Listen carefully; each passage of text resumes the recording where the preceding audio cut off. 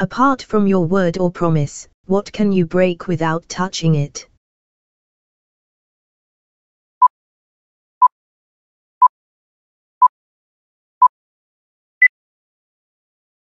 Wind